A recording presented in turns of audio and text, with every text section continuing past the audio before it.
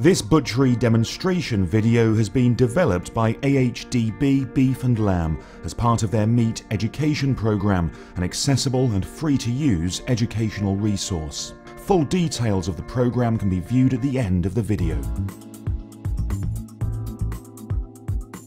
The ranch steak is produced from the top side of beef.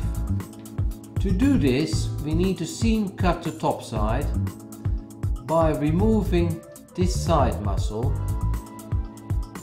and by following the natural seam it will also bring us to the cap of the top side which will also be removed.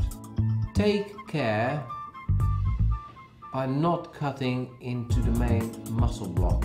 Now the cap has been removed, all connective tissue need to be removed from the remaining top side. Now all connective tissue is removed. We need to remove the tender top muscle. And this we do by following a thin blue seam between the two muscles. Now we are left with the main part of the top side and this can be cut into round steaks of required weight. But for to produce round steak we need to mature the top side for a minimum of 14 days. And as you can see this top side is slightly discolored on the outside because of that.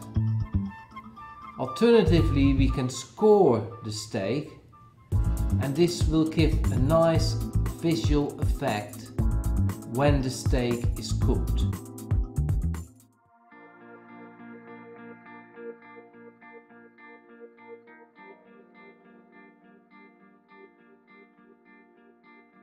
AHDB Beef and Lamb has launched the Meat Education Programme, an accessible and free to use web based educational resource for the whole of the meat industry. It aims to help you to enhance both your knowledge and understanding and provide you with certification. It is targeted at the whole of the meat supply chain, including learn how to debone and break down beef and lamb carcasses into primal cuts and how to cut primal muscles into retail and food service cuts. Learn how to produce cuts that deliver a more tender and consistent eating quality. Learn how to recognize different beef and lamb cuts and understand the best cooking methods for each. Learn about new cuts and how to identify opportunities for these products on menus. Learn about cattle and sheep production, what the different breeds are used for, and the names used to describe different types of animals. Learn about carcass classification and the factors that can affect meat quality. Understand the difference between service and hospitality and learn how to read your customers. Learn about the different meat cuts, specifications and what they're used for.